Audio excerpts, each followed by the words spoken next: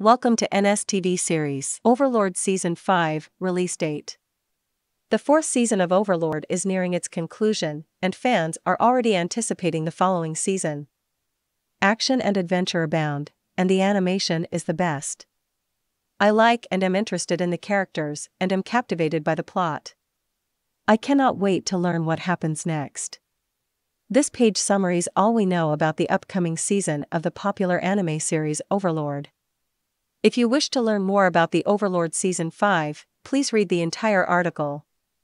Season 5 Premiere of Overlord. Right now, there is no official confirmation about Season 5 of Overlord. If it happens, then we will update our website.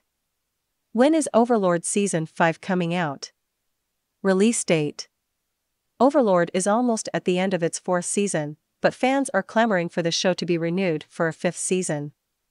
However, there are no official updates regarding whether or not Overlord will return for a fifth season. So we will have to wait till the program is renewed to find out whether it will. It is anticipated that the fifth season of the series Overlord will premiere sometime in 2023.